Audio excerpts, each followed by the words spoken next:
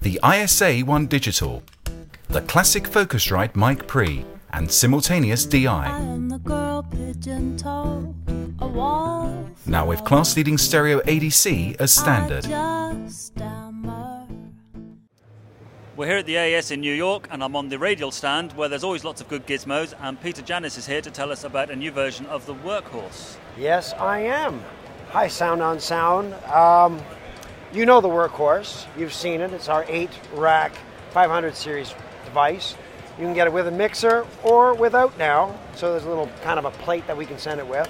But we thought this is cool, but there might be a whole bunch of people out there that may not want to go as far as this right away. So We've come out with a brand new one here at the show. It's called the WR3 or the Workhorse 3.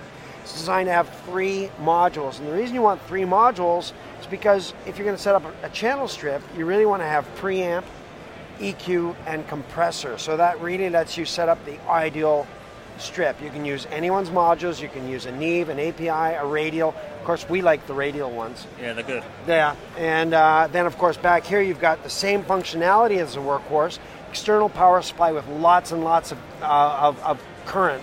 So you can run anything from tube modules all the way down. And then we've also kept these handy little switches here. So I can set up a stereo pair by using this little switch, or I can use what we call a feed switch that lets me go from this one to this one to this one.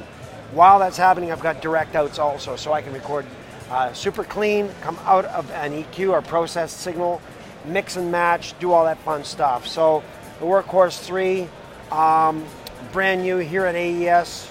Should be able to get these on the street for about $350 US. Brilliant. Thank you, Peter.